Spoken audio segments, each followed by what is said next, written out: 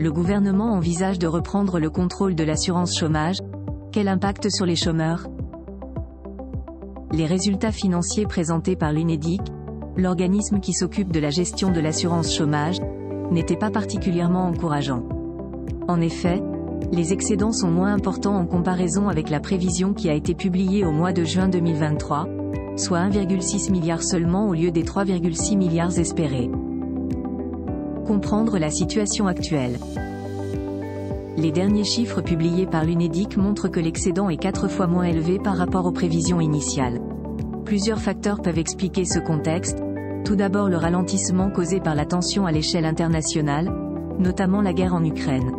Cette situation entraîne l'étouffement du commerce et des échanges, aboutissant vers une diminution des commandes adressées aux entreprises.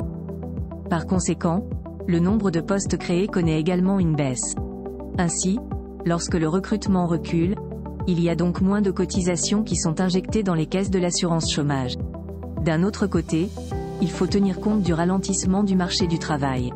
Cela signifie qu'il y a beaucoup plus de personnes qui sont sans activité, ceci engendre une hausse des allocations qui doivent être versées à ces profils, augmentant inévitablement les dépenses pour l'organisme concerné. Cette baisse de l'excédent de l'UNEDIC peut aussi se traduire par la mise en place de France Travail qui a remplacé Pôle emploi depuis le 1er janvier 2024. Il faut savoir que ce dernier est financé en partie à partir du budget de l'assurance chômage. D'après les affirmations de l'UNEDIC, cette saisie est assez conséquente. Sans oublier les fonds injectés à France Compétences qui s'occupent de la gestion de la formation et de l'apprentissage. Bref, UNEDIC estime une contribution totale de 12 milliards d'euros.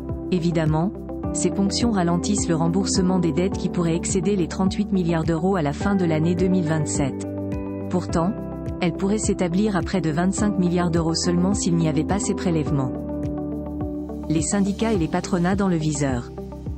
Compte tenu de ces prévisions de l'UNEDIC, le gouvernement risque d'apporter une réforme dans le domaine de l'assurance chômage puisqu'il envisage aujourd'hui de réaliser quelques 10 milliards d'euros d'économies. Dans ce contexte, l'exécutif prévoit la mise en place de dispositifs de durcissement des réglementations relatives à l'indemnisation des demandeurs d'emploi. Ces mesures visent ainsi à inciter les chômeurs à trouver au plus vite un travail, ceci permettra de faire des économies.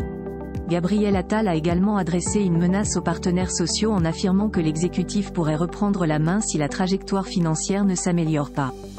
À l'heure actuelle, le gouvernement est en attente des propositions provenant de ces organismes concernant les pactes sur l'emploi des seniors.